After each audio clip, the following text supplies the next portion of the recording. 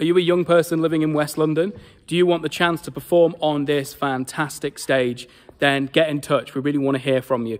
If you're ages between 18 to 25 and a West Londoner, uh, we want you to potentially come and join us and be part of our new community project, Heart of Hammersmith, which is going to be produced next summer at the Lyric.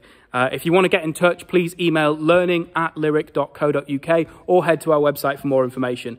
We're going to be having a meeting on Zoom next Wednesday. That's Wednesday, the 16th of December at 7 p.m. So please join us there where we'll answer some more questions about this and give you a bit more information. Again, if you want some more information about this, contact learning at lyric.co.uk or go to our website where there's much more information. Thanks so much.